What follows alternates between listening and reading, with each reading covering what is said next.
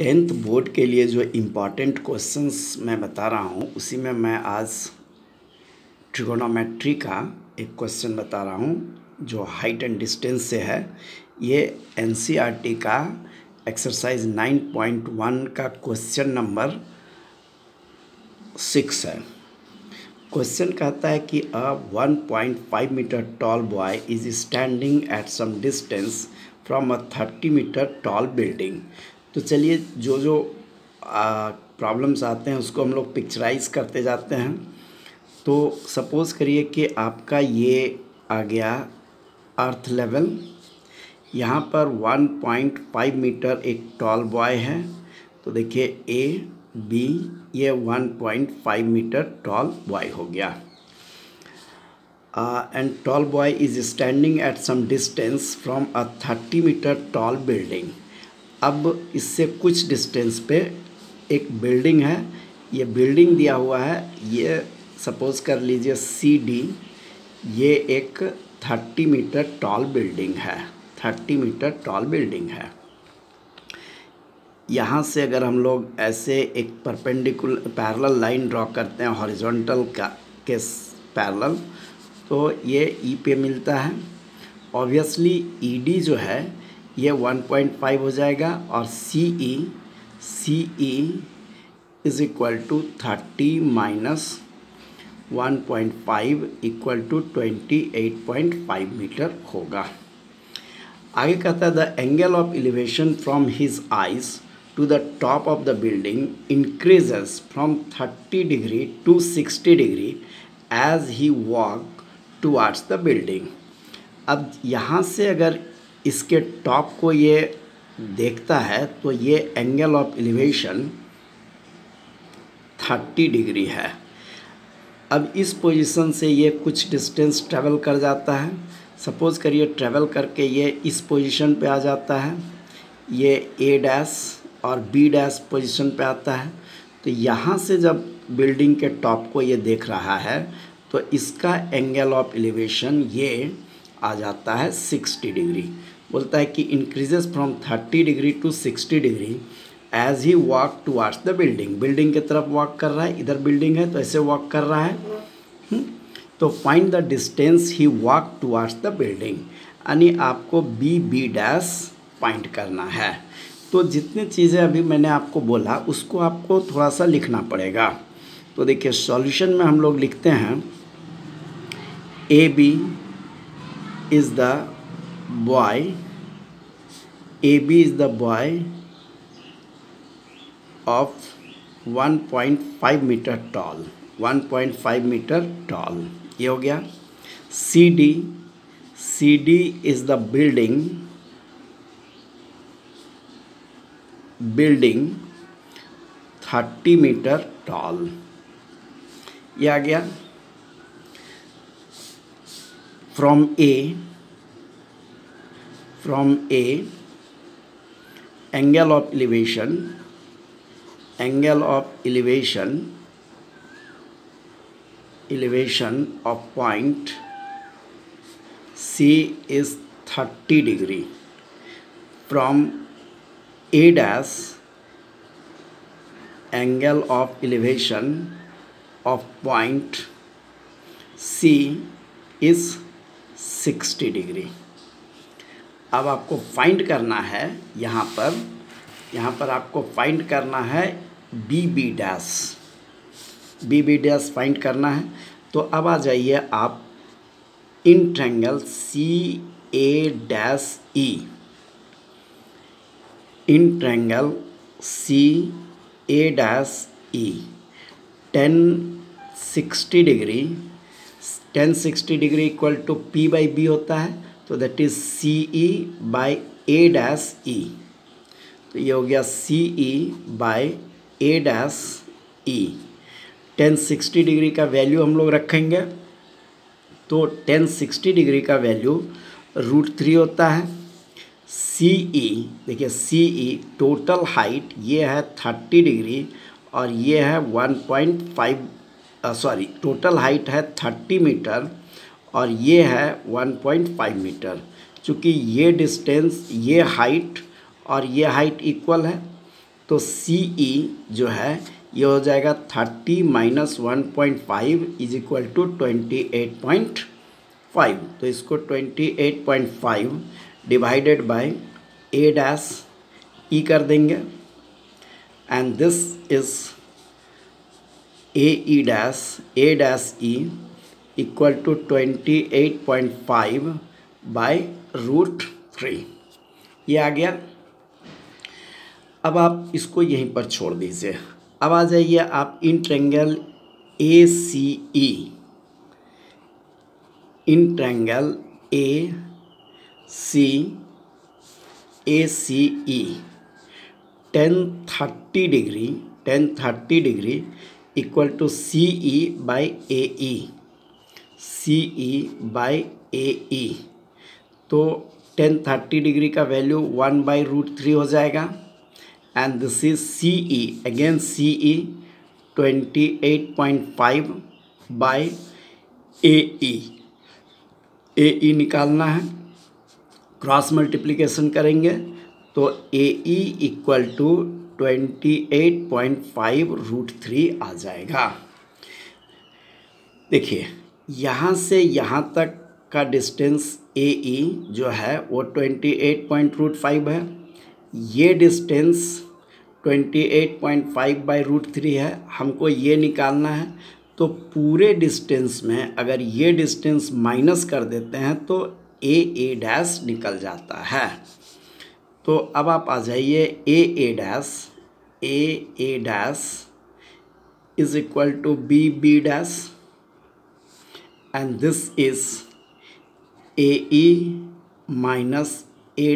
E और A E twenty eight point five root three minus twenty eight point five by root three यहाँ पर आप एल्शियम ले लीजिए रूट थ्री तो twenty eight point root three को रूट थ्री से इंटू करेंगे तो twenty eight point five into three हो जाएगा minus twenty eight point five अब थोड़ा सा कैलकुलेशंस को देखने के लिए हम लोग वाइजली इसको कैलकुलेट करेंगे, देखिए 28.5 को 3 से मल्टीप्लाई करके 28.5 माइनस ना कर ले करके हम लोग अगर 28.5 इसमें से कॉमन लेते हैं तो यहाँ बच जाता है three minus one three minus one equal to two तो ये हो जाएगा two into twenty eight point twenty eight point five divided by root three इसको मल्टीप्लाई करिए तो ये हो जाएगा आपका fifty seven by root three rationalise कर देंगे तो fifty seven by root three into root three by root three this is equal to fifty seven root three by three काट दीजिए तो ये हो गया nineteen this is nineteen root three metre answer तो देखिए, ये कैलकुलेशंस ज़रा ध्यान देंगे कि हमने किस तरह से कैलकुलेट किया। कॉमन लेकर के इसको हम लोग करते हैं। चलिए, अगर इस कैलकुलेशंस को आपको समझने में असुविधा होती है तो आपको हम ऐसे बताते हैं। यहाँ पर हमने twenty eight point five common लिया। तो ये हो गया three minus one by root three तो देखिए, ये बच गया थ्री माइनस वन टू यानी two into twenty eight point five by root three ये आ जाता है। तो इसको हम लोग इंटू करेंगे।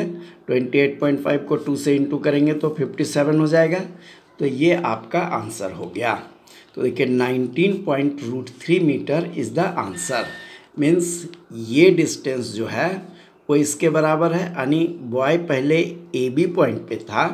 यहाँ से A dash B dash point पे चला आता है। यानी ये डिस्टेंस ट्रेवल किया।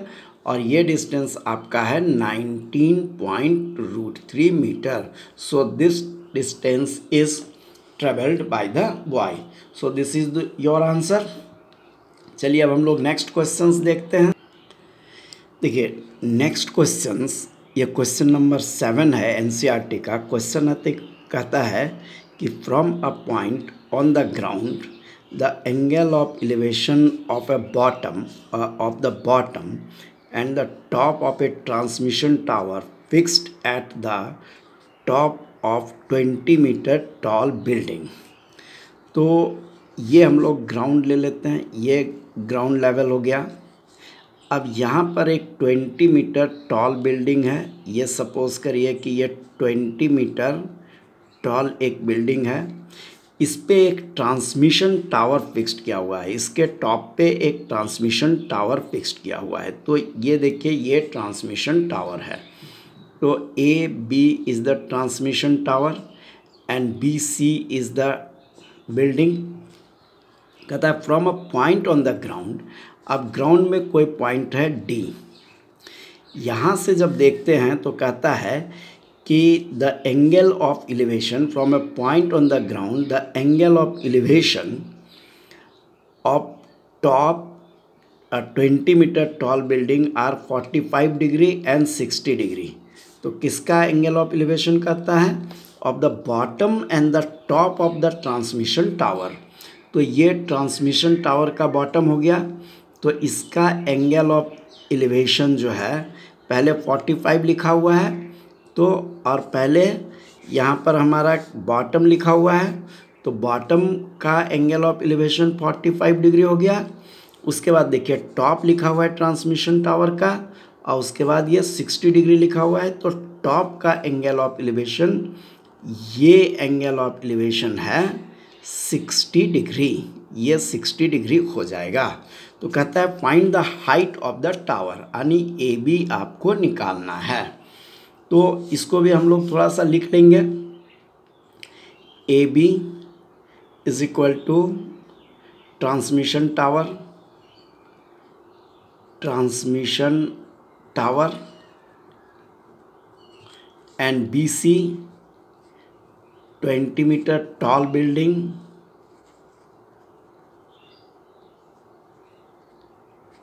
ये आ गया।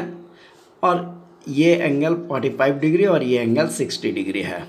तो in triangle in triangle B D C B D C tan forty five degree tan forty five degree equal to B C by C D हो जाएगा P by B that is B C by C D forty five degree का value one हो जाएगा one equal to B C C is given twenty metre and C D नहीं मालूम है तो C D लिखेंगे और C D equal to cross multiplication करने से आ जाएगा ये ट्वेंटी मीटर तो सी डी आ गया आपका ट्वेंटी मीटर अब आप ए डी सी ट्रेंगल में आ जाइए.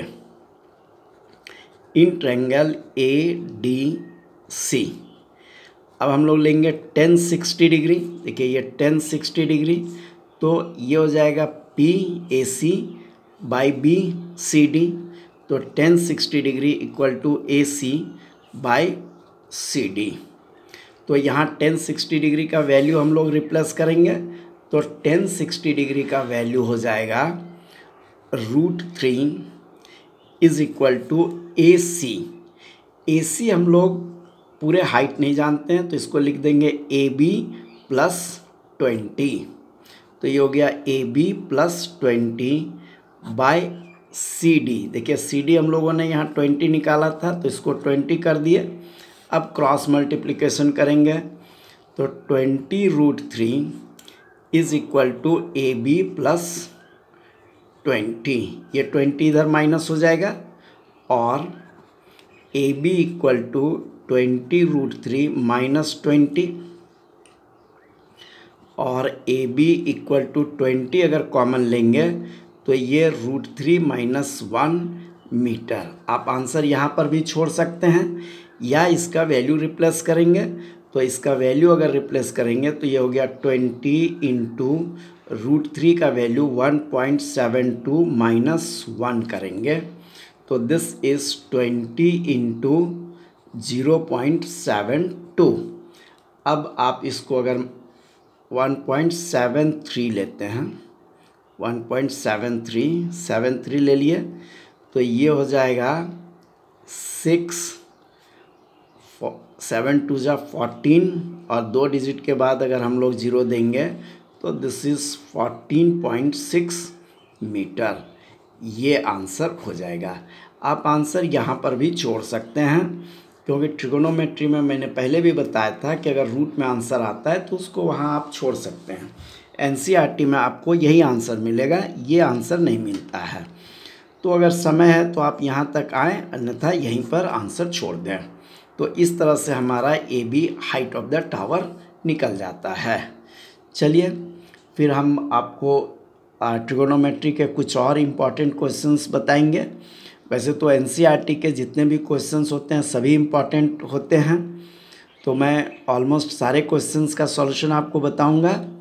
आप इस सीरीज़ के वीडियो को देखते रहें ताकि ये हाइट एंड डिस्टेंस से आपको एक क्वेश्चंस ज़रूर ही आएगा और ज़्यादा चांसेस है कि एन e के ही क्वेश्चंस आते हैं।